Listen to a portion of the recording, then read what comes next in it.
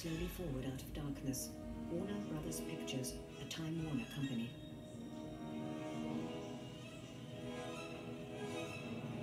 A heap of skulls and bones is piled high behind iron railings.